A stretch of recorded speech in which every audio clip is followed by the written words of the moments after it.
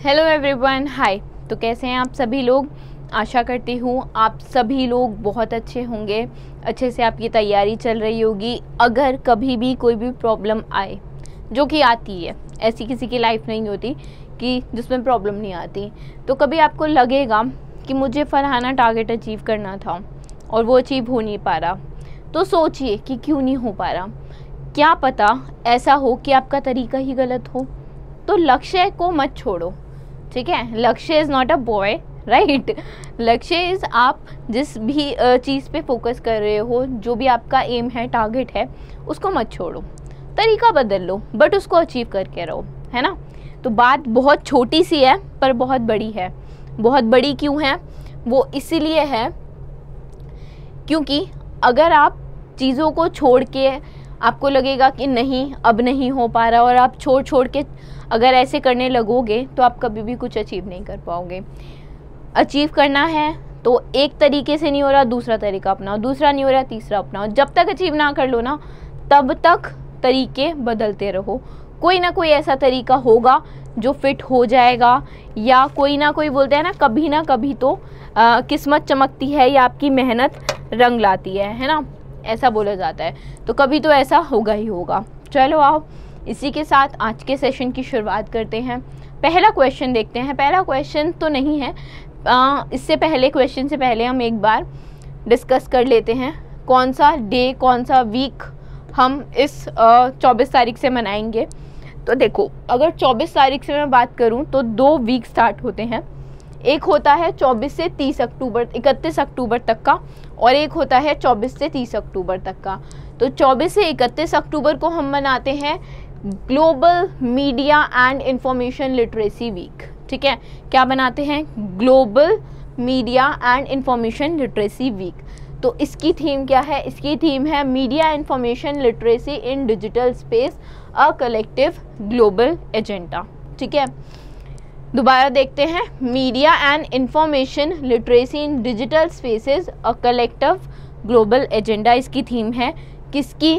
Global media and information literacy week की, है ना? जो 24 से 31 अक्टूबर के बीच मनाया जाता है। अगर मैं डिसआर्मामेंट वीक की बात करूँ तो डिसआर्मामेंट वीक दो हज़ार आप कह सकते हैं 24 से 30 अक्टूबर के बीच मनाया जाता है। एंड ये बेसिकली इसलिए मैं अच्छा डिसमेंट होता क्या है। मतलब जब आप वेपन्स को ठीक है परमाणु हथियार या किसी भी तरह के हथियार को यूज़ ना करने का फैसला करते हैं। ठीक है? दैट इज़ डिसआर्मामेंट और उसी के लिए, उसी को प्रमोट करने के लिए एक वीक डिफाइन है, जिसे हम डिसआर्मामेंट वीक कहते हैं और ये 24 से 30 अक्टूबर तक हम मनाते हैं। है ना? हर साल।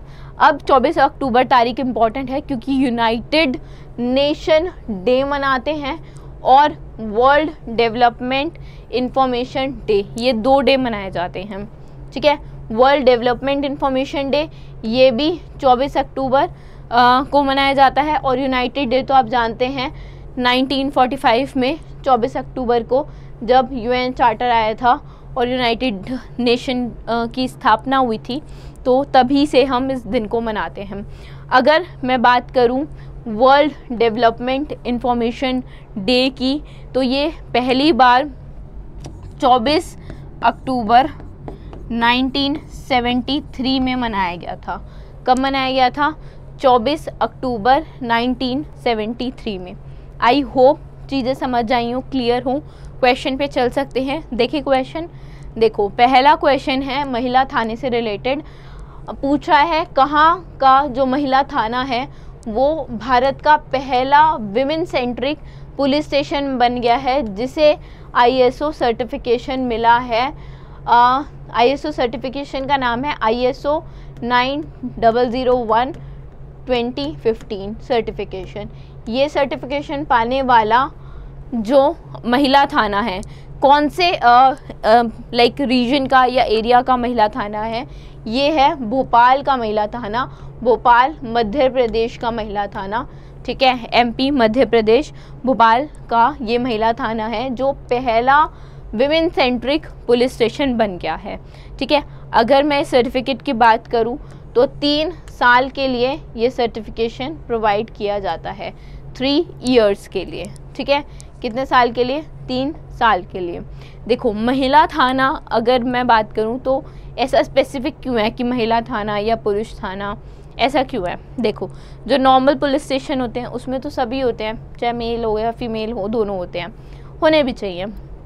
महिला थाना स्पेसिफिकली डिज़ाइन इसलिए किया जाता है, कई बार क्या होता है, आप अपनी प्रॉब्लम सिर्फ़ एक एक महिला होके, अगर मुझे ऐसा फील होता है कि मैं ऐसी कुछ चीज़ें हैं, जो सिर्फ़ एक महिला से कर सकती हूँ तो उस चीज़ों को, उस बातों को या उस, उन इमोशंस को, ठीक है, मद्देनज़र रखते हुए कि कुछ लोग ज़्यादा कंफर्टेबल रहते, रहेंगे।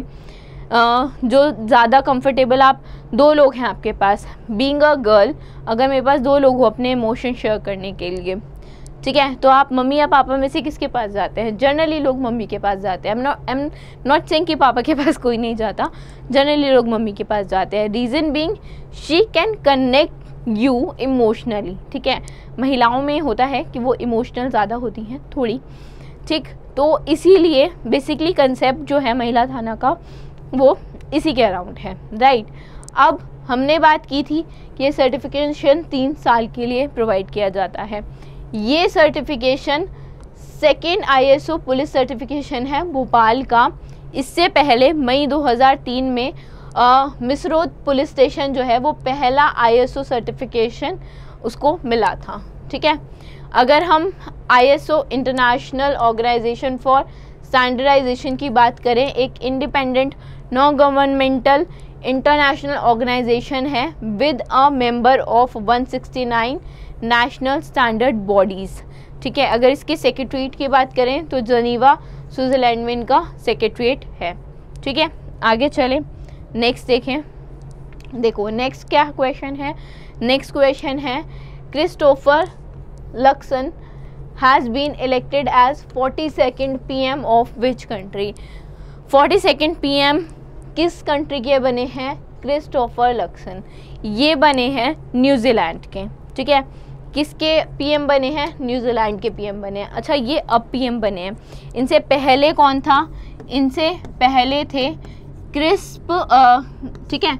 इनसे पहले जो प्रीवियस थे जिन्हें इन्होंने रिप्लेस किया है आ, वो थे क्रिस्प हिपकिंस ठीक है?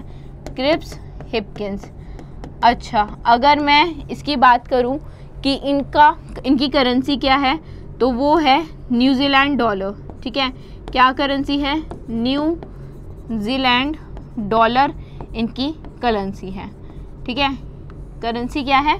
New Zealand dollar. करेंसी पूछता है और कौन सी चीज़ पूछता है, बताइए? और कैपिटल पूछता है। ठीक है? कैपिटल क्या है? वेलिंगटन है। ठीक है? वॉलिंगटन, इनकी कैपिटल है। दो ही चीज़ें पूछते हैं। कैपिटल, करेंसी, ठीक? और क्या पूछेगा? पीएम बता ही दिया क्वेश्चन में, है ना? आगे चलें नेक्स्ट देखें। सत्रह साल के ग्रैंड मास्टर का नाम बताना है, जिन्होंने F I D E world junior rapid chess championship 2023 open source section में इन्होंने जीती है। तो इनका नाम है रौनक सिद्धवानी। रौनक सिद्धवानी तेरह साल के हैं मेरे ख्याल से। हाँ देखो, रौनक सिद्धवानी जो हैं, वो बहुत ही कम एज में ग्रैंड मास्टर बने हैं। तेरह साल की उम्र में ये यंगेस्ट आप कह सकते हैं। यंगेस्ट तो नहीं बट हाँ यंग हैं काफ़ी। तेरह साल की उम्र में ये ग्रैंड मास्टर बने हैं। सत्रह साल बन गए थे मतलब। तो सत्रह साल के जो ग्रैंड मास्टर हैं, रौनक सिद्धवानी ये महाराष्ट्र, नागपुर से बिलोंग करते हैं। इन्होंने अभी F world junior rapid chess championship जीती है। 8.5 इन्होंने इनका स्कोर रहा है 11 राउंड्स में, ठीक है? अच्छा हारे कौन है? अर्सियने नेस्त्रोव रशिया के इनसे हारे हैं। ये नाइन्थ यंगेस्ट प्लेयर हैं हिस्ट्री में एंड फोर्थ यंगेस्ट इंडियन हैं, जिन्होंने इस अवार्ड इस टाइटल को जीता है। अगर गर्ल्स सेक्शन की बात करूँ तो गोवर बेदुलविया, अज़रबैजान की हैं। इन्होंने जीता है क्या FIDE world junior rapid chess championship 2023 की with a score of nine nine के स्कोर के साथ। ठीक है? गर्ल सेक्शन में बॉयज़ सेक्शन में, दोनों में आपको पता चल गया है कि किसने इस चैम्पियनशिप को जीता है। है ना? आगे चले नेक्स्ट देखें। नेक्स्ट क्वेश्चन है, किस इंडियन स्टेट गवर्नमेंट ने इंट्रोड्यूस किया है एक पॉवर्टी एलिवेशन स्कीम जिसका नाम है अरुणोदय 2.0 स्टेट गवर्नमेंट का नाम बताओ। ठीक, दूसरा क्वेश्चन क्या होना चाहिए कि अभी ये 2.0 है? तो टू जो फ़र्स्ट था वर्जन ठीक है, वो कब आया था? पहली बात अगर मैं गवर्नमेंट का नाम पूछूँ या बताऊँ तो पूछूँ तो आप बोलोगे असम, और मैं बताऊँ तो मैं भी असम ही बताऊँगी ना, ठीक है? तो असम स्टेट गवर्नमेंट ने ये स्कीम ऑन द वे 2.0 जो स्कीम है इंट्रोड्यूस की है. ये एक पॉवर्टी एलिवेशन स्कीम है बेसिकली इसका जो फ़र्स्ट वर्जन था, आप कह सकते हैं 2 अक्टूबर 2020 में आया था, अब 23 में दूसरा वर्जन लेके आई है विद सम एडवांसमेंट ठीक है? थोड़ा सा पैसों में आप कह सकते हैं बढ़ोतरी हुई है, ठीक? अगर मैं बात करूँ चीफ मिनिस्टर हेमंत बिश्वा शर्मा की तो उन्होंने इंट्रोड्यूस किया है एक अपग्रेडेड वर्जन किसका? उनकी poverty alleviation scheme on due 2.0 का। ये जो स्कीम है, ये बेनिफिट करेगी लोगों को एंड ये उन्द्रोय उन्द्रोई कार्ड्स जो हैं वो अब एक एड ऑन फीचर है 2.0 में। ये एडिशनल बेनिफिट है जो लोगों को मिलेगा ठीक है? ये एम्पावर करेगा जो भी आ, निम्न वर्ग के लोग हैं जिनको उतना एडवांटेज नहीं मिलता या जो उतना लाइक पॉवर्टी लाइन पे हैं उन लोगों को ये स्कीम बेनिफिट करेगी। It will reach the poverty alleviation like extend the ये जो 2.0 प्रोग्राम है ये एक्सटेंड करेगा जो प्रोग्राम uh, इनिशिएट हुआ था 2020 में ठीक है? 7.3 लाख न्यू बेनिफिशरीज इंक्लूड होंगे ठीक है? और टोटल कितने लोग हो जाएँगे अब? 26 लाख लोग इसका बेनिफिट उठा पाएँगे। 26 लाख महिलाएँ जिन्हें बारह सौ पचास रुपये पर मंथ मिलेगा हर 10 तारीख को, महीने की हर 10 तारीख को बारह सौ पचास रुपये मिलेंगे, ठीक है? समझ में आया? आगे देखें, आगे चलें नेक्स्ट पे देखें। देखो स्टेट का नाम बताना है, जिसने हाल ही में रिसेंटली लॉन्च किया है location accessible multi model initiative scheme ठीक है? Location accessible multi model, initiative, scheme क्या है? देखो, लोकेशन एक्सेसिबल मतलब कि जो लोकेशन है, ठीक है? जो इधर एक जगह से दूसरे जगह जाने पे आपको जो भी प्रॉब्लम्स होती हैं, ठीक है? या जो भी आसानी से अगर आप कम फेयर में, कम प्राइस में एक जगह से दूसरी जगह जा पाएँ ये स्कीम वही चीज़ प्रोवाइड करती है कि आप एक जगह से दूसरी जगह ट्रांसपोर्टेशन जो हो बस ट्रांसपोर्टेशन जो हो, वो बेसिकली चिपर रेट्स पे हो, ठीक है? तो ये है उड़ीसा की सरकार जिसने लॉन्च की है location accessible multi model initiative scheme ठीक है?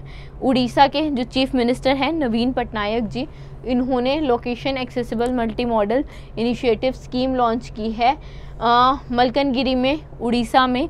एंड इन्होंने अनाउंस किया है ये उड़ीसा स्टेट बजट 2023-24 के दौरान। ठीक है, ये स्कीम ऑफ़र करती है reliable and affordable public transport bus services आप कह सकते हैं थ्रू उड़ीसा।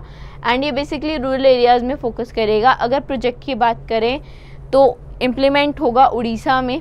ठीक है, तीन हज़ार सत्रह सौ अठारह करोड़ की लागत के साथ। ठीक है, तीन साल के लिए अगले तीन साल के लिए इम्प्लीमेंट होगा 2023-24 से लेके 2025-26 तक, है ना? आगे चलें नेक्स्ट पे देखें। नेक्स्ट क्वेश्चन क्या है? नेक्स्ट क्वेश्चन है कि आर लिमिटेड ने अभी हाल ही में साइन किया है एक एमओयू ठीक है? आर ई सी लिमिटेड जो है, उसने एक एमओयू साइन किया है।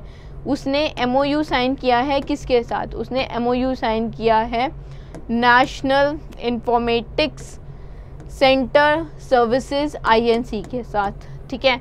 किस चीज़ के लिए? For various information and communication technology and digital transformation services ठीक है? तो अब क्वेश्चन क्या है? अब पूछ रहा है कि आर लिमिटेड जो है, वो मिनिस्ट्री ऑफ़ पावर के अंडर तो आती है बट वो कैसी कंपनी है?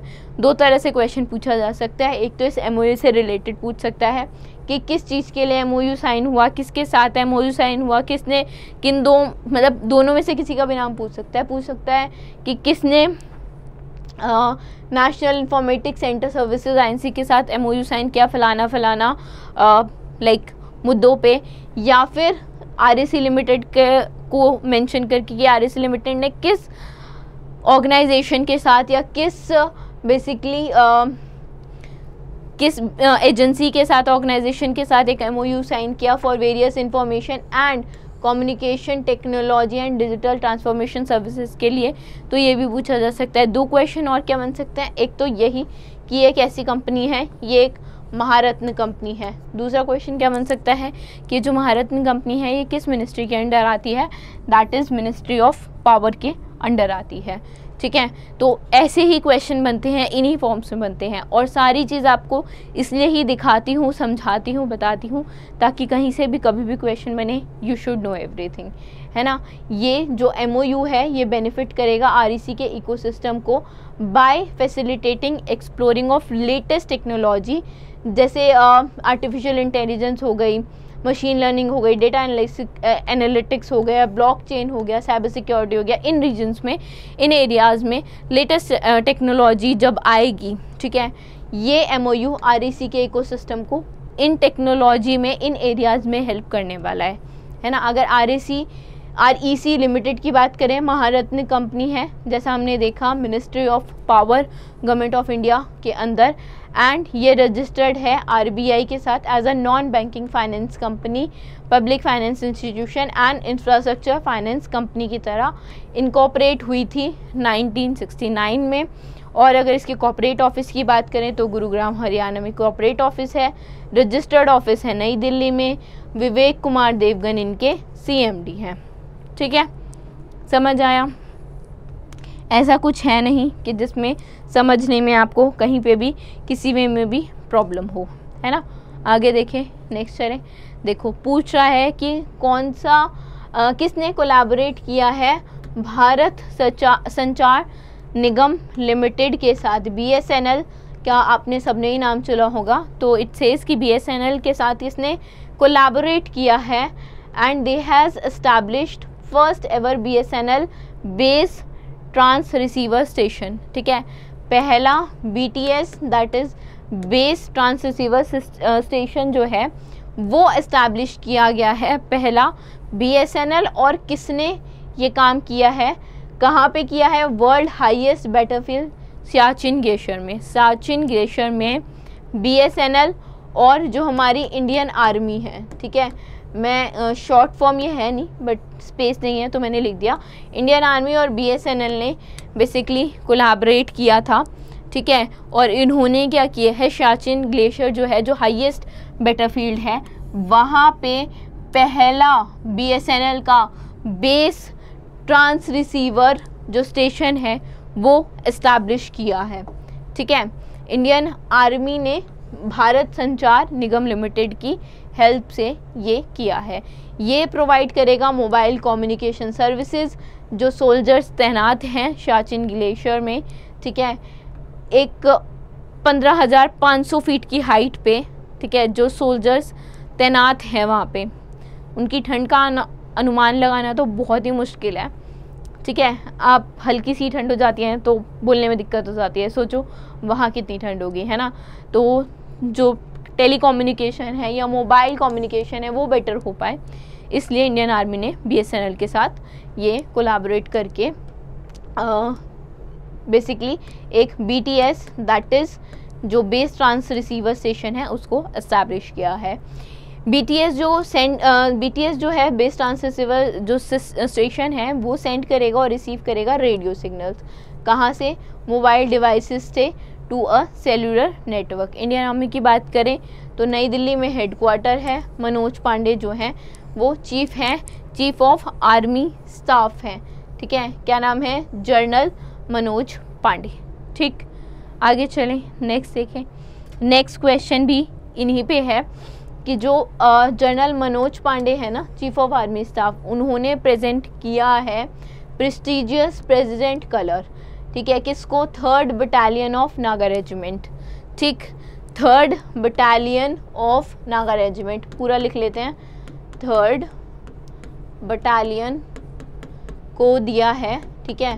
Third battalion of Naga regiment को क्या मिला है? Third battalion of Naga regiment को प्रेस्टिजियस प्रेसिडेंट कलर मिला है, ठीक है? तो एक क्वेश्चन तो पूछ रहा है कि पहली बटालियन नागालैंड नागा रेजिमेंट की रानी खेत में हुई थी रेस ठीक है, रानी खेत उत्तराखंड में रेस हुई थी। किस साल में हुई थी? तो ये हुई थी 1970 में। अगर मैं थर्ड का पूछूँ कि थर्ड जो है, वो कब रेज हुई थी?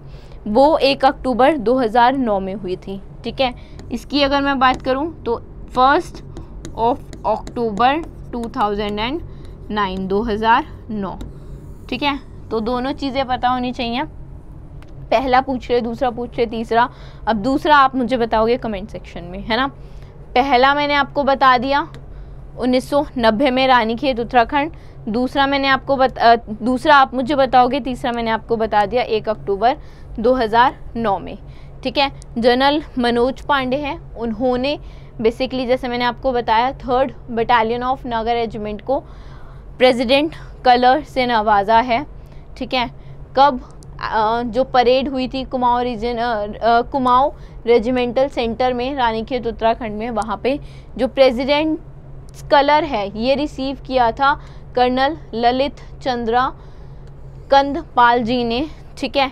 और नागा रेजिमेंट जो थर्ड बटालियन है, जैसा मैंने आपको बताया था कि हल्द्वानी में एक अक्टूबर 2009 में ये क्रिएट हुई थी, जो सिचुएटेड है कुमाऊँ हिल्स में, ठीक है? जहाँ पे कुमाऊँ और नागा जो रेजिमेंट्स हैं, उनका एक तरह से होम भी है, घर भी है। अगर मैं प्रेजेंट कलर की बात करूँ तो it is called Nishan and highest honour है that can best upon any military unit in India and it is an emblem that is worn by all unit officer on the left hand sleeve of the uniform मतलब उनके जो uniform की left side है ना, वहाँ पे इस एम्बल को पहना जाता है।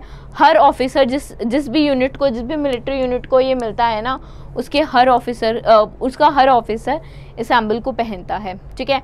अगर इंडियन नेवी की बात करूँ तो first Indian navy armed force थी to be awarded with president colour by doctor Rajendra Prasad ji on 27 मई 1951 ठीक है? तो ये पॉइंट भी इंपॉर्टेंट है, पूछ सकता है। देखो क्वेश्चन हमेशा या तो रिसेंट या फ़र्स्ट जो चीज़ पहली बार हुई थी या रिसेंट अब किसने क्या जीता उस पर होती है है ना? तो फ़र्स्ट आपको मेंशन कर दिया रिसेंट आपको बता दिया। आई होप यहाँ तक चीज़ें क्लियर हो। कोई प्रॉब्लम ना हो। अगेन अगर कोई भी इशू है, कोई भी प्रॉब्लम है you can let know you can comment और वी विल रिप्लाई ठीक है? या तो कमेंट सेक्शन में आपको रिप्लाई मिल जाएगा। नहीं तो जो नेक्स्ट सेशन होगा, उसमें आपके कमेंट का रिप्लाई किया जाएगा। हर पॉसिबल वे से कोशिश की जाएगी आपको समझाने की, ताकि आपको बेटर अंडरस्टैंडिंग मिले, है ना? तो चलिए, इसी के साथ आज के सेशन को रैप अप करते हैं। We will be meeting you tomorrow and last but not the least, happy Dashara to all of you. Thank you.